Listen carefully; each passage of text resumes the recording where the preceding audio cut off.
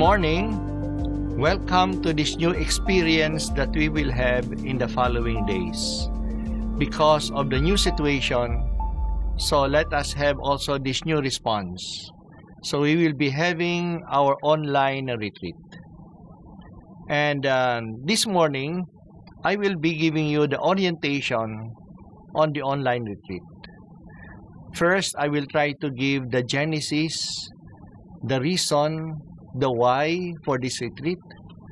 Then also give you some uh, indications, tips on how we can make this retreat well.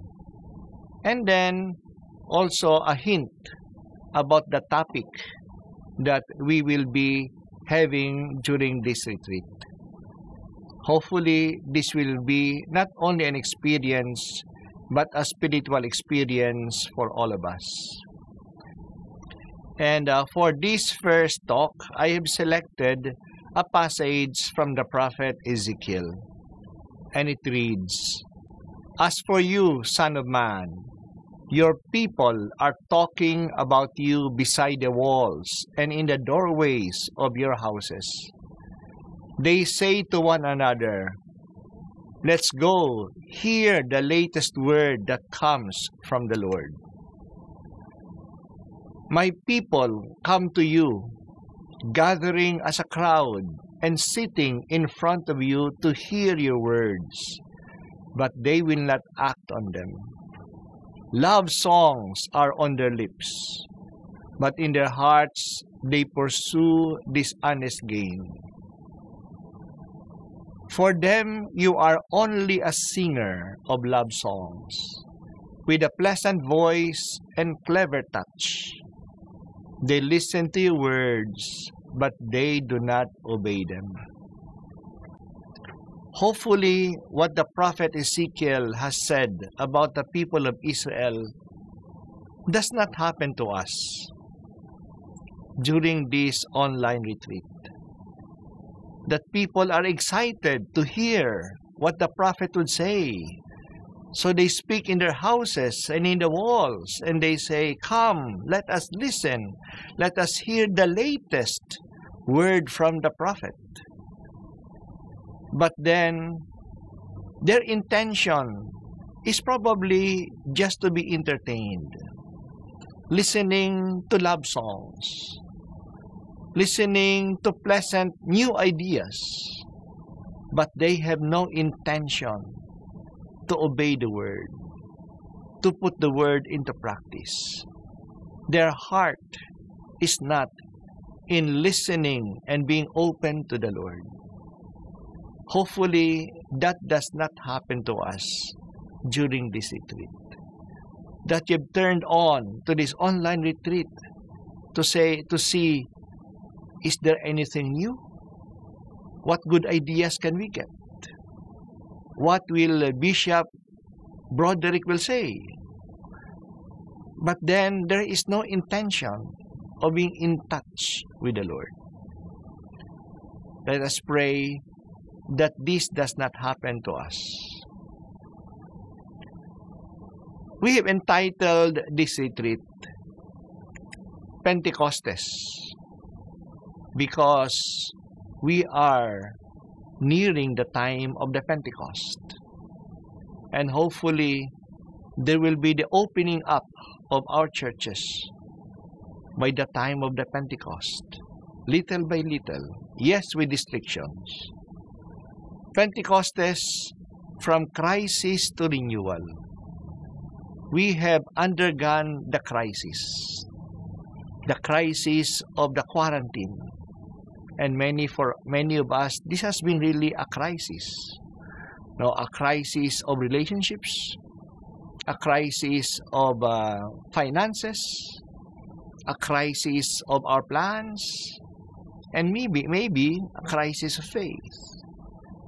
But may this crisis bring us to renewal, that we can come out of this situation renewed, from lockdown to mission. We have been locked down, unable to move, but now that little by little we'll be able to go out, hopefully it's not just to enjoy ourselves, but we go out to mission. So this will be the theme of the retreat.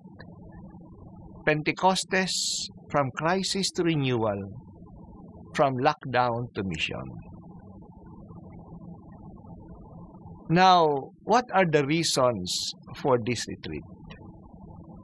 Why do we make this retreat and at this time?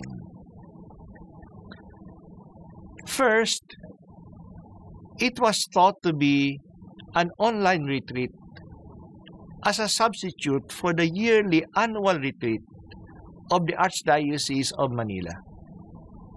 We usually set our retreat during the month of July.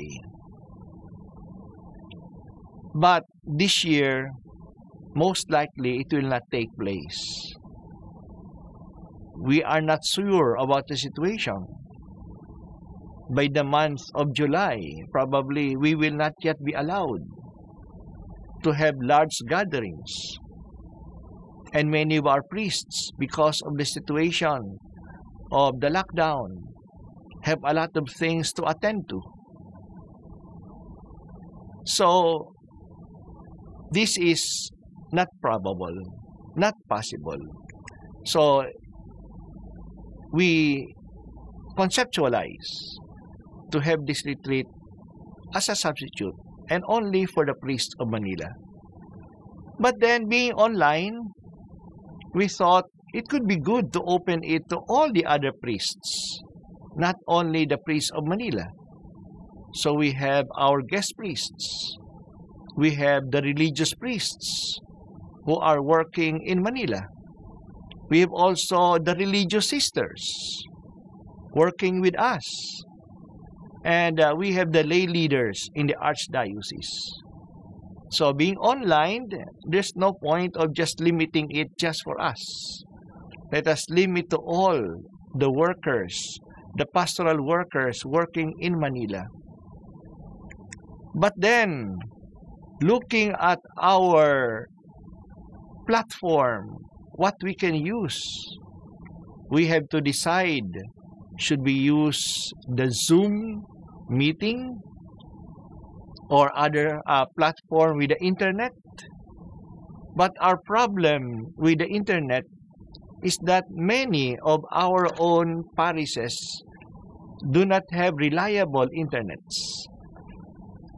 So we have decided to use the broadcast platform that is to through TV Maria, through Radio Veritas, and then can be taken on by the Facebook of uh, for Facebook pages of our own parishes. So now being in the broadcast platform, it is open to all. Anybody can tune in. Now, it has a problem for me. To whom would I focus? If it were just for the priests of Manila, then I would focus my talks to the priests or just to the archdiocese, our concerns of the archdiocese but it has gone wider. And even the language, if it were just for the Manila clergy, then I could speak in Tagalog. But now that we open it to all, we have also our own guest priests who don't know Tagalog. So I have also to make the choice of speaking in English. But there are also opportunities that I can take to speak in Tagalog if it would express more the ideas that we want to say. Now, why at this time? Why now? Somehow, this time is uh, the last leg of the quarantine.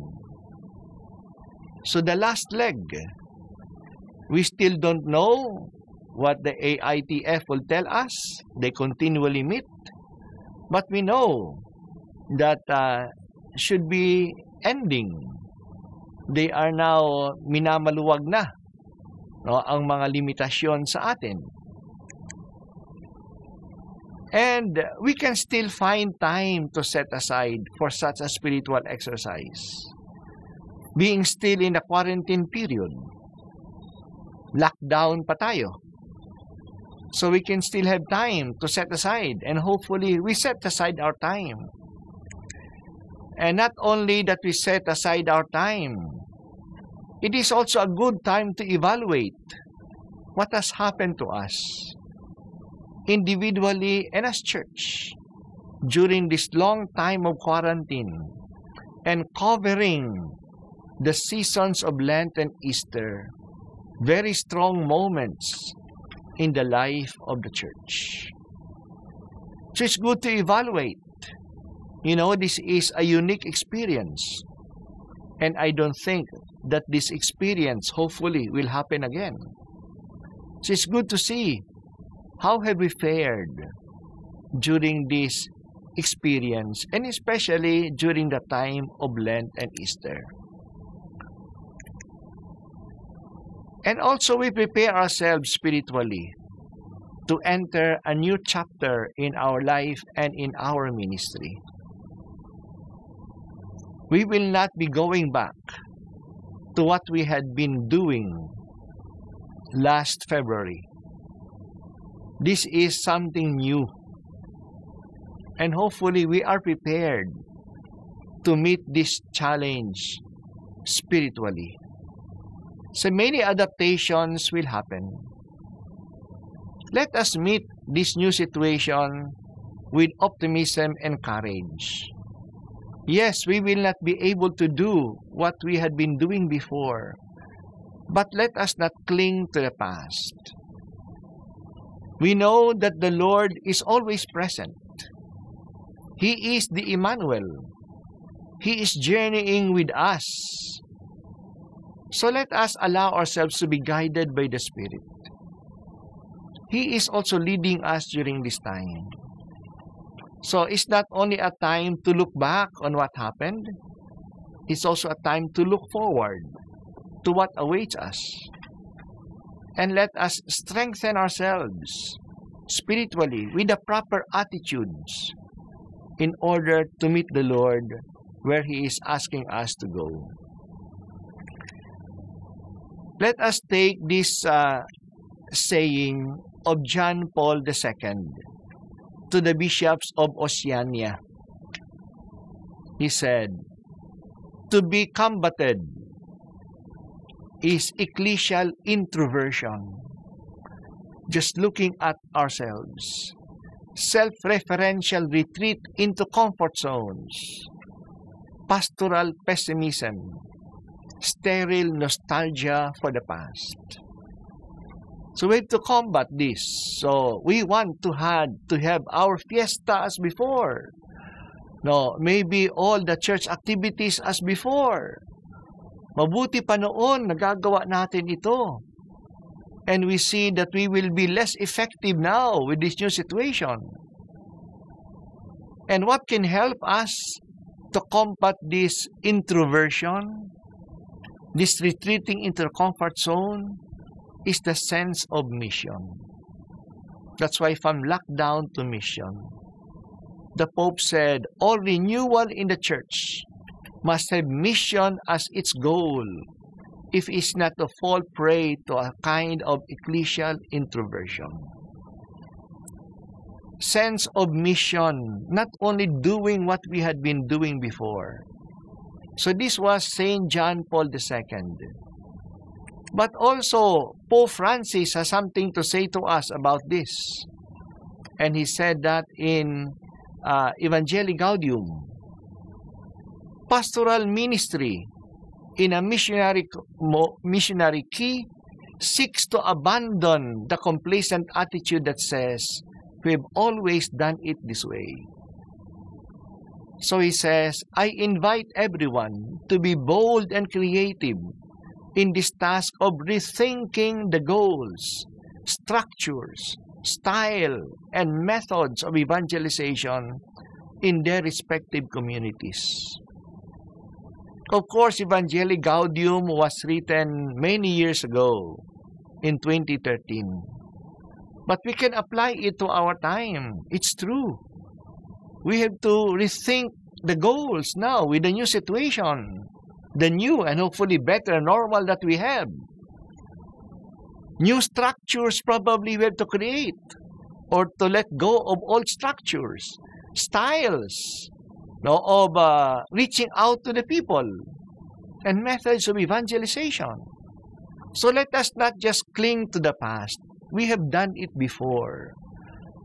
This was how we did our Simbang Gabi. This is how we did our retreats before, our recollections. Iba na ang panahon natin ngayon. And we say that this is a serendipitous moment sa a confluence of happy, we'd say, chances or providence that we have this retreat at this moment. We can all pray together. Pray together in our homes, in our convents, pray together as an archdiocese. Since we make this retreat as an archdiocese, we can pray together with all the other people that will join us, that are joining us uh, in our spiritual exercise.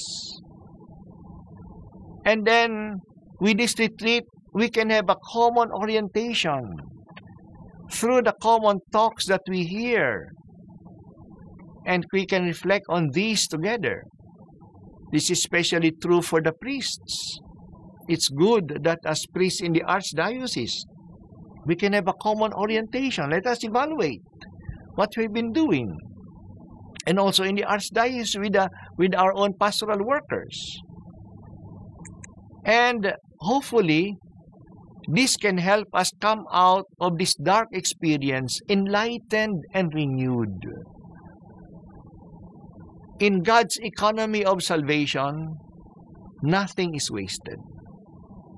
Even the most inglorious suffering and death on the cross became the stepping stone to life and glory. So even what is bad can be a stepping stone for a greater good. So yes, we have suffered. Our plans have been uh, curtailed by the lockdown, by this virus. The economy has suffered. But there's also something good here that we can maximize. So we go out from this experience enlightened and renewed rather than discouraged and despondent. And hopefully this retreat can bring us out we also hear from the prophet Ezekiel Thus says the Lord God, Look, I am going to open your graves. I will make you come out of your graves, my people, and bring you back to the land of Israel. You shall know that I am the Lord when I open your graves and when you come out of them, my people.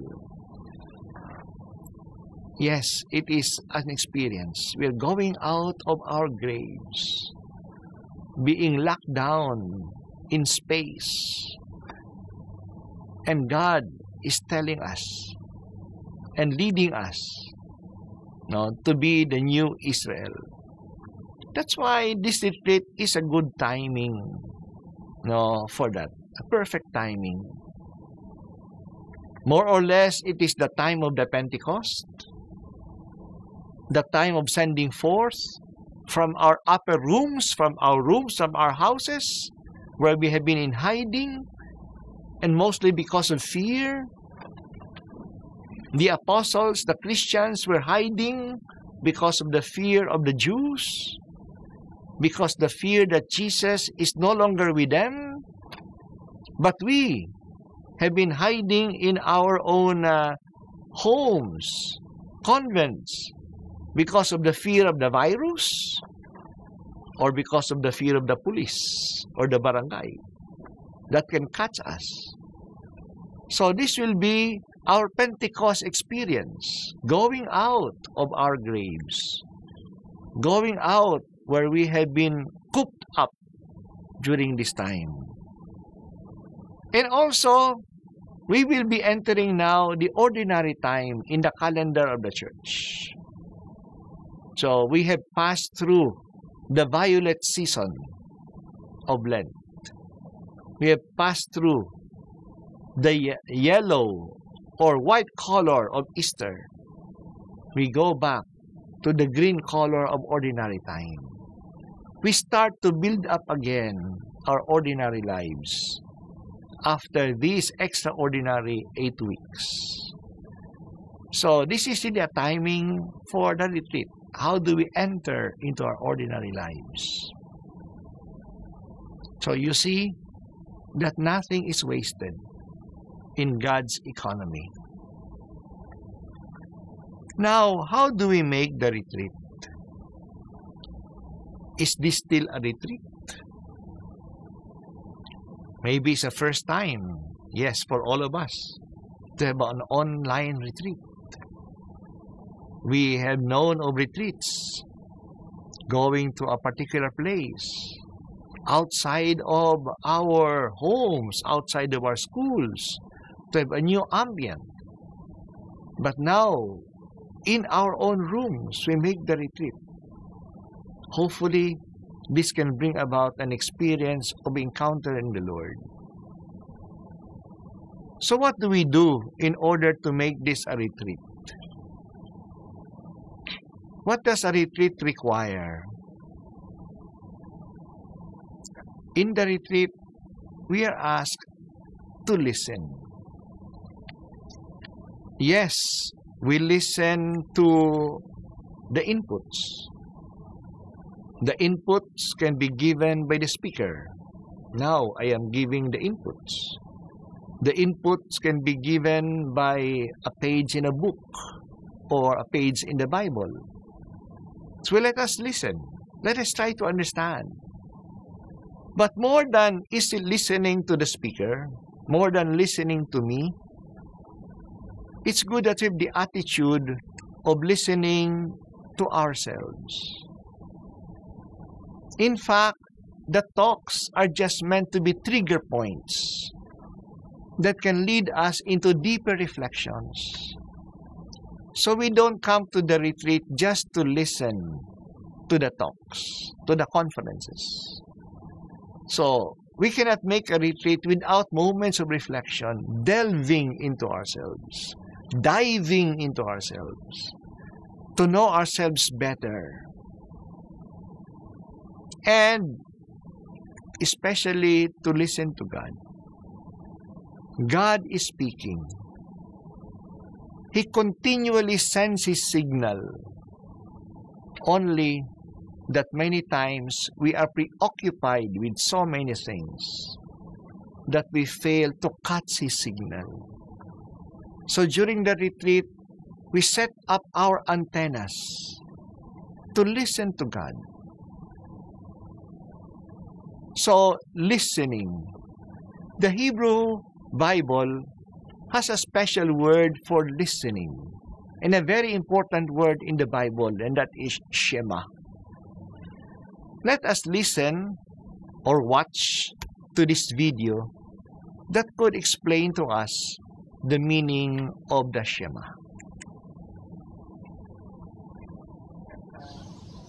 For thousands of years, every morning and evening, Jewish people have prayed these well known words as a way of expressing their devotion to God. They're called the Shema. Hear, O Israel, the Lord is our God, the Lord is one. And as for you, you shall love the Lord your God with all of your heart, with all of your soul, and with all of your strength. Now, the first word of the Shema is hear or listen, which in Hebrew is pronounced Shema. That's where the prayer gets its name. Now, Shema is a really common word in the Hebrew Bible, and it's obvious why. Hearing is a very universal activity. It's usually connected with the ear, as in Proverbs chapter 20 ears that Shema and eyes that see, The Lord has made them both. Now that seems basic enough, but if you look at the other ways that Hebrew authors can use the word Shema, they use it to mean more than just let sound waves enter your ear. In Hebrew, Shema can also mean pay attention to or focus on. So when Leah, who wasn't loved by her husband Jacob, she has a son, and she names him Simeon, or in Hebrew, Shimon, because she says, The Lord has shamad, that I am unloved. So Shema means to hear and to pay attention to, and even more. It can also mean responding to what you hear. This is why so many of the cries for help in the book of Psalms begin with a call that God listen. Psalm 27, verse 7 Shema my voice when I call, O Lord. Be merciful, answer me. So asking God to Shema is at the same time asking God to act, to do something. It's similar to when God asks people to listen. Like when the people of Israel come to Mount Sinai, God says, If you shema me fully and keep my covenant, then out of all the nations you will be my treasured possession. Now, there's a couple interesting things about this verse in Exodus. In Hebrew, the word Shema is repeated twice in this sentence to give it emphasis. If you Shema, Shema, meaning listen closely. But also notice that from God's point of view, listening is basically the same as keeping the covenant. So when God asks the people to Shema, what he means is that they listen and obey. And that's the last fascinating thing about Shema. In ancient Hebrew, there is no separate word for obey, meaning to carry out the wishes of someone who knows better than you or is in authority over you. So in the Bible, if you want to say, I will listen and do what you say, you use the single word, Shema. In Hebrew, listening and doing are two sides of the same coin. This is why later in Israel's history, when the people were breaking their covenant promises to God, the Hebrew prophets would say things like, They have ears, but they're not listening. The Israelites, of course, could hear just fine, but they weren't actually listening, or else they would act differently. And so, in the end, listening in the Bible is about giving respect to the one speaking to you and doing what they say. Real listening takes effort and action, and that's the Hebrew word Shema. So, what attitude should we have as we enter into this retreat? Let us be reminded of these important things and uh, let us pray that we have these attitudes. First, a conviction that God wants to speak with us and that He has many things to tell us. Our God is not a secretive God. Our God is not silent. He is a revealing God. He wants to speak. He wants to communicate. He's the Word. And uh, let us open ourselves to Him, especially in the retreat. That's why the time of the retreat is we shut off all the other things that we can pay more attention to God, what God will tell us. So openness to God through silence and prayer. Be generous in giving Him these four days. Let us give Him the silence and prayer. Set aside all the other concerns that you do. The lockdown has told us that we can set aside things that before we thought were so important. So even now, can we just offer to God these four days just for Him? And one big challenge for us is to shut off our social communications no, so that we can communicate with God. Saint Anselm, who lived about 1,200 years ago, has Insignificant man, escape from your everyday business for a short while. Hide for a moment from your restless thoughts. Break off from your cares and troubles, and be less concerned about your tasks and labors. Make a little time for God and rest a while in Him. How good this is to us. It applies to us. The world of St. Anselm was very slow. That was 1,200 years ago. And yet, people then were already busy with their daily concerns. How much more today? Even if we are in the quarantine period, our time flew, our time flies. Watching he this, watching that, listening to this, listening to that, no meetings there, meetings here. So that's why let us escape from all of this for a while. Be generous to God to listen to Him. Every encounter is personal. We can be sure that God wants to encounter us personally. Are we ready to meet Him? There are activities that can facilitate this encounter with God. And these are ordinary activities that we do during that retreat, which we can still do also during this online retreat. The Holy Eucharist is an important encounter with Him. For us priests and for the religious in the convents, they have the Eucharist. For the lay people, we also offer the Eucharist online. So let us continue and hopefully pray the Eucharist well. Second encounter is the confession. Let us make it a point to confess during this retreat. So we will have a common penitential service on Wednesday afternoon to help us to make a good confession. Among the priests, they can confess to one another. Or they can also, the priests can go to the convents of religious sisters and offer the service of confession. And the lay people can come to the parish, not together, no, one by one.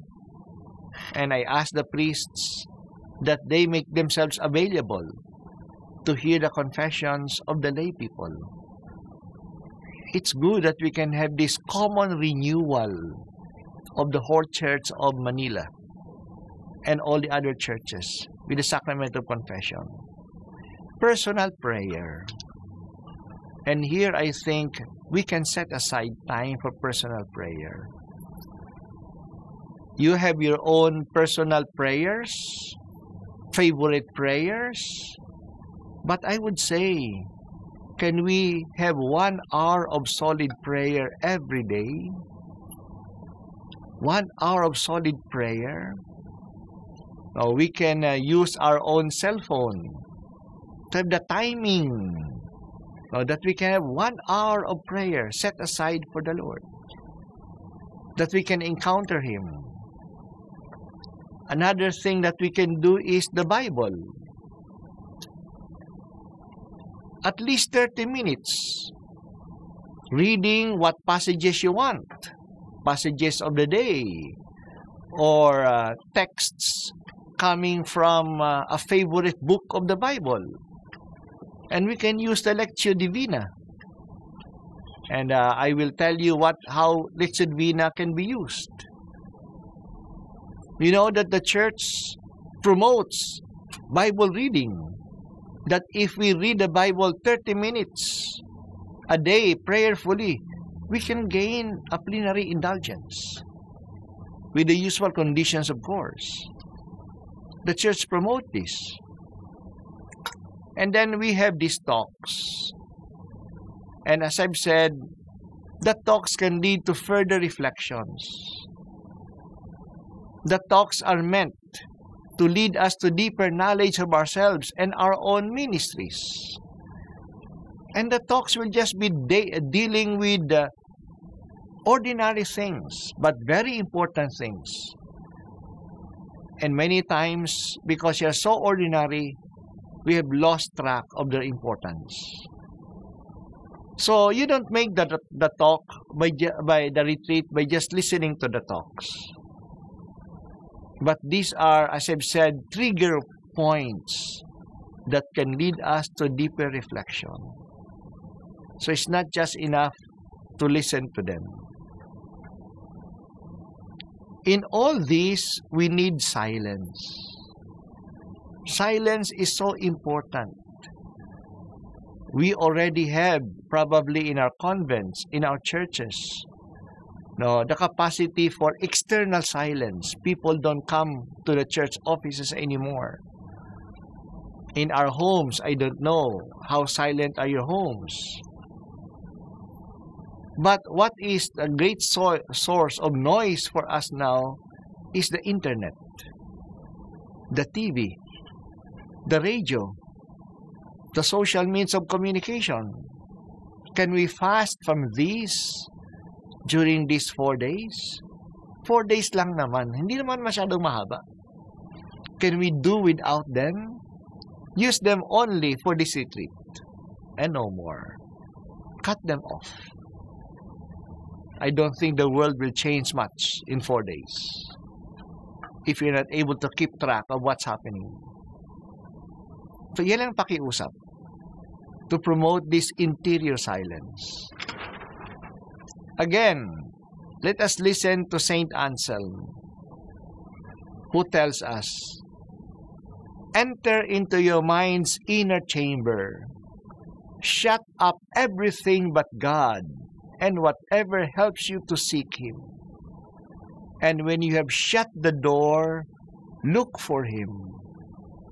Speak now to God and say with your whole heart, I seek your face. Your face, Lord, I desire. Let us pray this and pray this constantly. It can be even a refrain, a mantra that we can use during these days. I seek your face. Your face, Lord, I desire. You know, you can use your one hour of prayer just repeating this no, as a mantra and entering into this situation.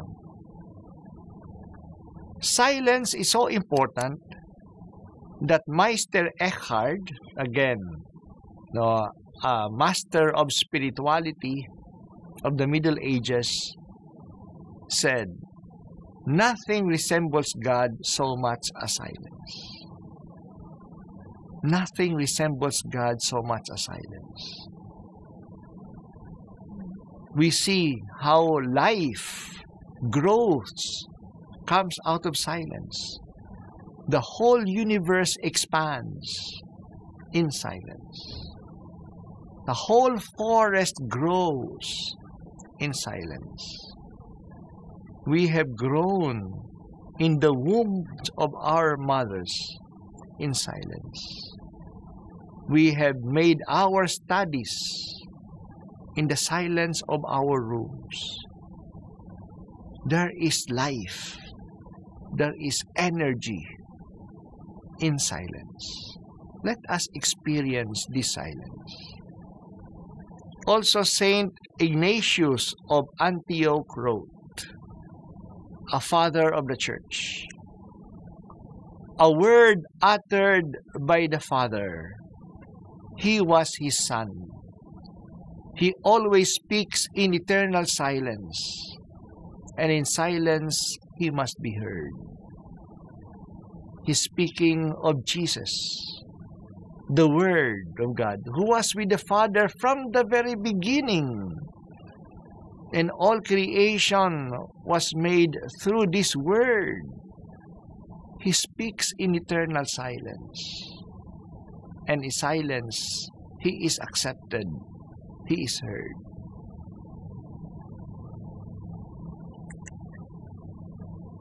One of the lessons we learned from the lockdown is to look for and experience the essentials. We have come to terms with this. That's why we have seen only our essential needs. We don't have much money.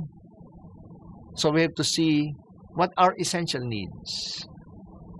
We don't have to, we cannot go to the mall to buy things and many times things that are not needed. We have also gone through essential relationships. No longer with friends, but now we are locked down with the people in our community for the religious, with our own families, family members. So we are reduced to the bare minimum in our relationships. Of course, with the social media, we can have many friends. But Lord, those that whom, to whom we are in touch with the real relationships, reduce the bare essentials.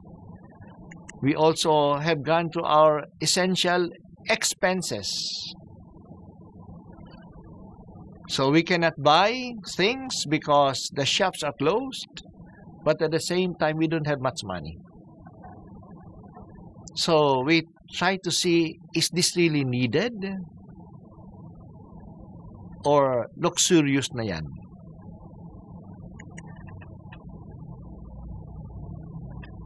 Now that we are about to start opening up the quarantine, in order to avoid any second wave of the infections, people are cautious. That's why they open up only the essentials. Again, pinag-uusapan na naman ang essential. Mahalaga ba talaga yan? So, they open up essential services. And this is something that we are fighting for to consider religious activities as essential services. They should not lump up the religious activities with concerts, with movies.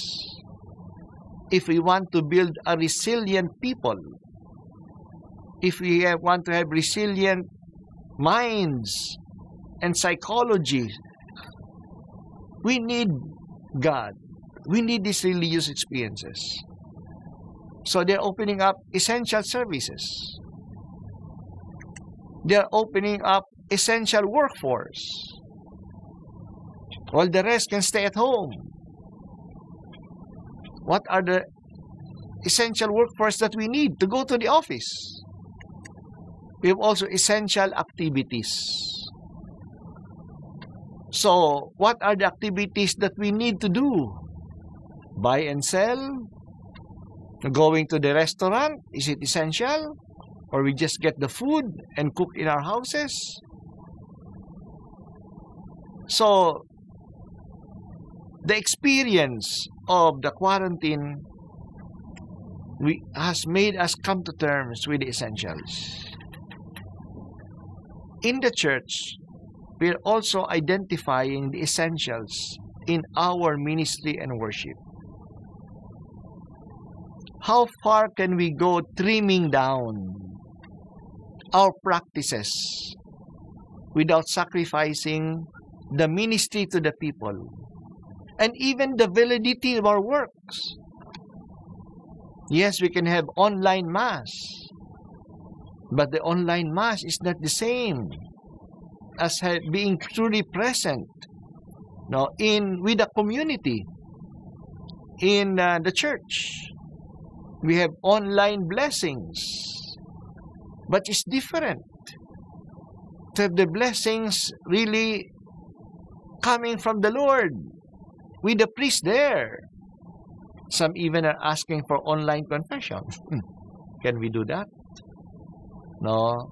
Online confession. That's why we see we see what are the borders, what are the limitations when we go to trim down to the essentials.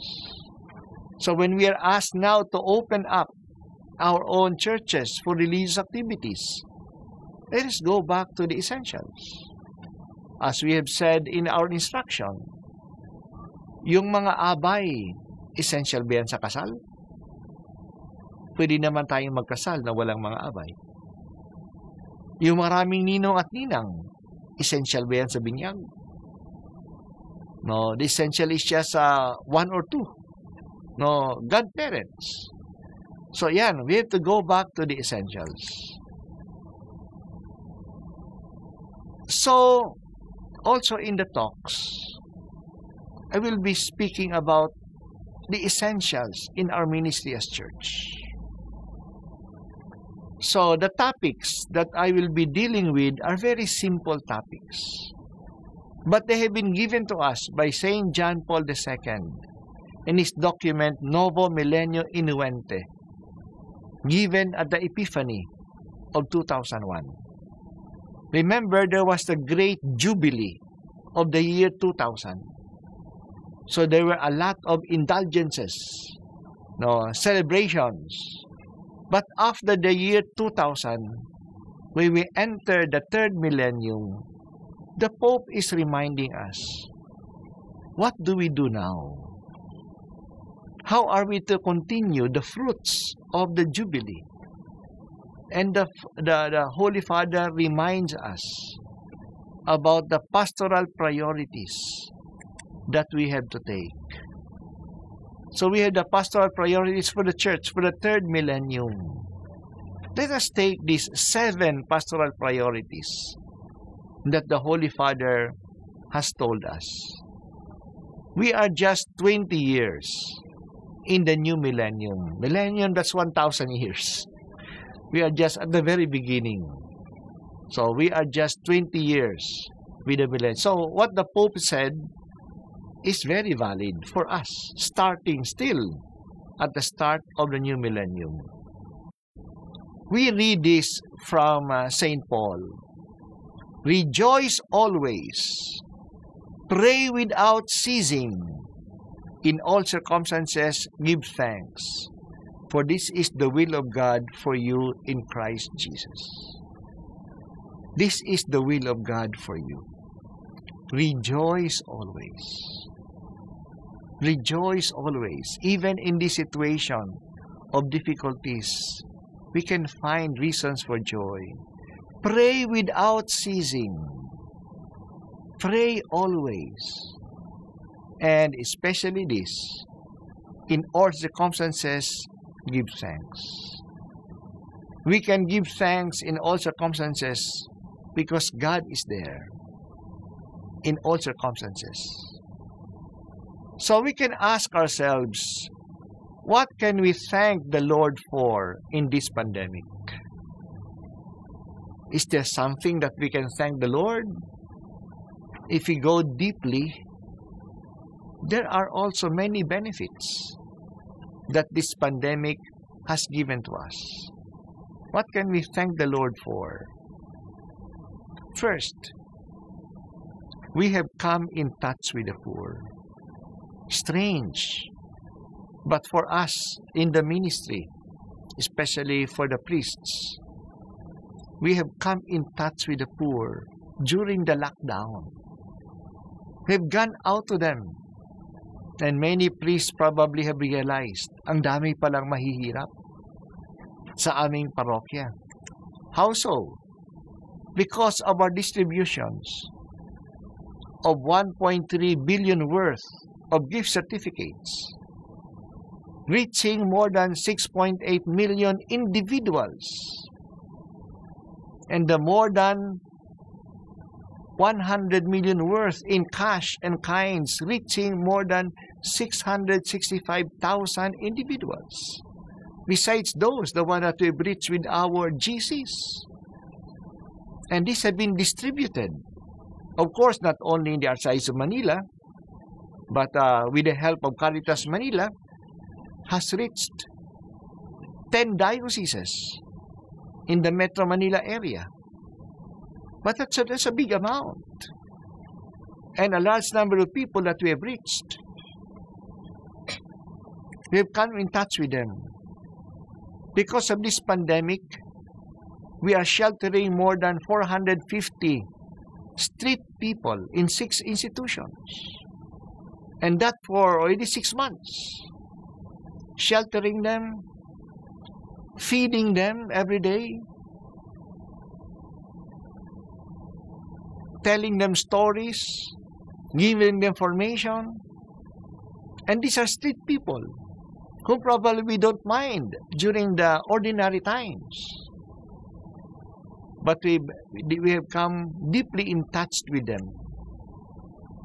During this time, because of lodging, we have come in touch with the poor because of lodging more than 800 medical and military frontliners in 28 schools, parishes, hostels, and convents in the Archdiocese of Manila.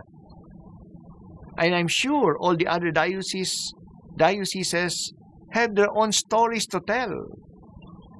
So they come to our convents, to our schools, to our hostels because they could not go back to their own families.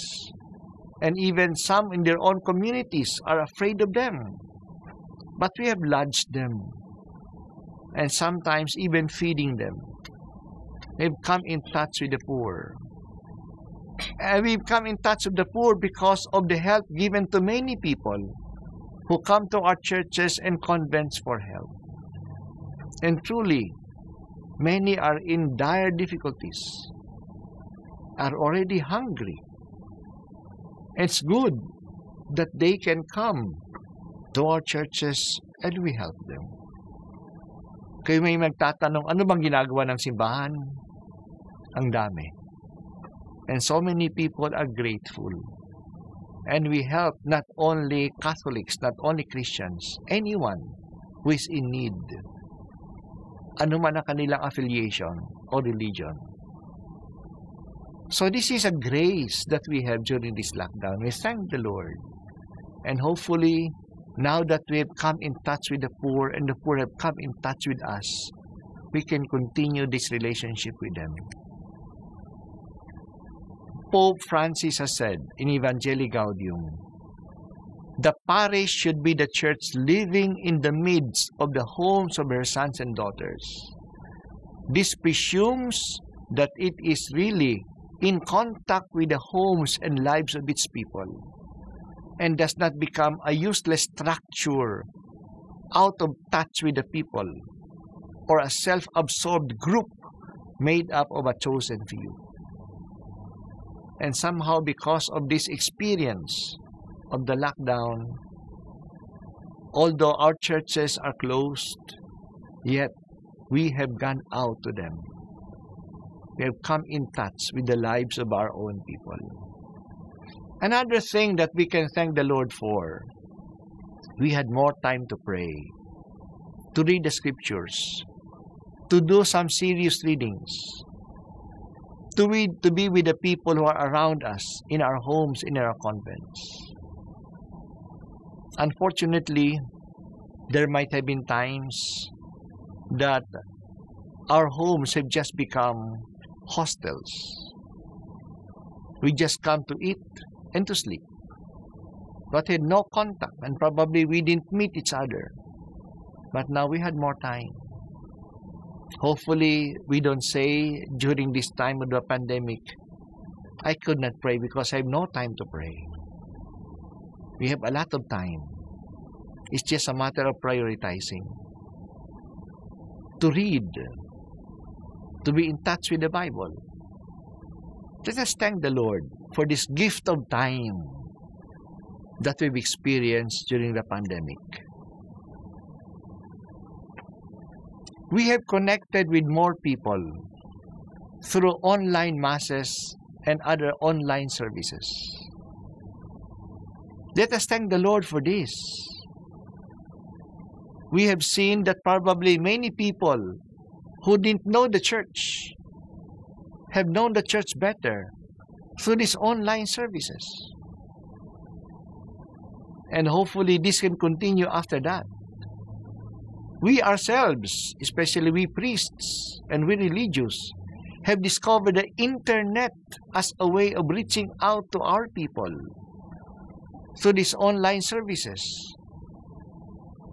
For me personally, the first time that I've been touched with uh, online meetings through the school, uh, the Zoom, the Skype, Jitsi, and so many other flow of, uh, formats to meet people face to face, at least seeing their faces. no, during this. So we've seen also the interconnectivity because of these services. This is something that we should thank the Lord for. We also thank the Lord that we have been able to live more simply. Kaya naman palang walang malls, without eating out, without travels, without engagements which keep, us away and running from place to place. It's possible to live more simply. So another lifestyle we have experienced. Cooking together, telling stories, working together, praying together, no, having enough time to sleep, have the leisure of eating slowly, home home cooked foods. This is a new experience. We thank the Lord for this. So I just pointed out some things that could bring out optimism in us. That even in this experience, the Lord is with us. I know you have your own other experiences. That's why I would ask you to pause for a moment to write down your own positive realizations from this experience of the tomb, the quarantine. By the way, this is one thing that I recommend. Have also your own notebooks to write down your thoughts. I know that this is online, so the talks are available to you. You can download them later on and still reflect on them. But your own ideas that come out of these talks, write them down. And when you write them down, you own them, you own these ideas. So you can uh, have your thoughts written down as we play this music, uh, soothing music for three minutes for you. And then, not only that, I also ask you to write down the defects, the anger, the fear, the loneliness that have been magnified by this lockdown.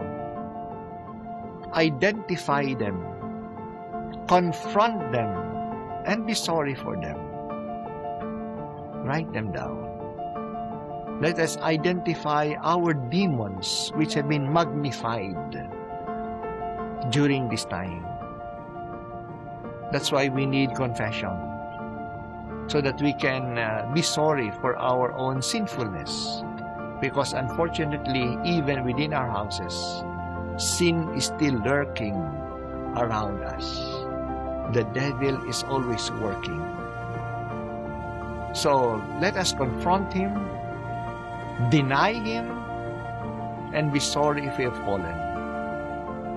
Again, let us take time uh, with the soft music there in order to write them down. And as we end this first talk,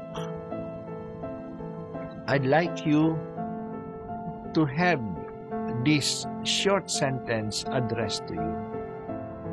God speaking. We need to talk.